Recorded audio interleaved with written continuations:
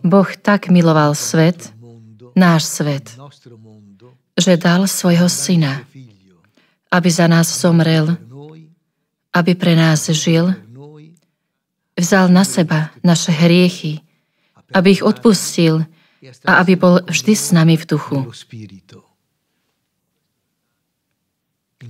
Ak chceme tieto Vianoce prežiť Pána Ježiša Krista v nás, ak chceme, aby sa narodil a znovu zrodil v našom srdci, v každom skutku, v každom slove, v každom vzťahu k sebe a k druhým, položme si otázku. Keby bol pán na mojom mieste, čo by urobil? Keby bol pán Ježiš na mojom mieste, čo by povedal? Ak by bol pán Ježiš na mojom mieste, ako by sa zachoval k týmto osobám alebo iným?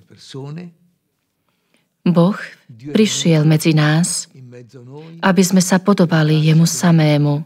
Ak chceme žiť ako on, položme si otázku. Čo by urobil Ježiš, keby bol na mojom mieste? Veselé Vianoce všetkým. Buon Natale a tutti.